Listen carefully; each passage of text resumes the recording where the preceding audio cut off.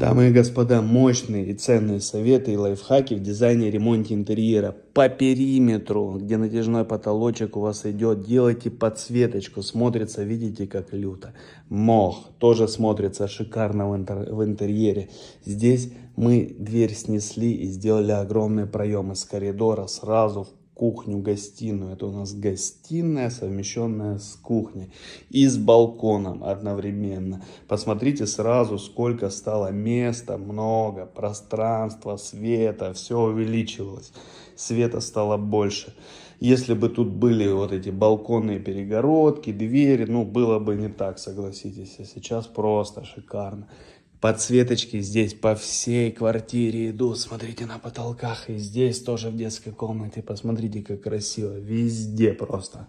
И здесь в комнате тоже. Красота. И подсветочки, все эти блоки грамотно мы спрятали вот сюда. Вот такой вот у нас щиток. Здесь у нас блоки на подсветочке, интернет и никаких проводов нигде по квартире не валяется. Здесь тоже по разным группам все расключено. Даже, как обычно по стандарту, у нас для роутера перезагрузочка есть, чтобы на роутере ничего не клацать.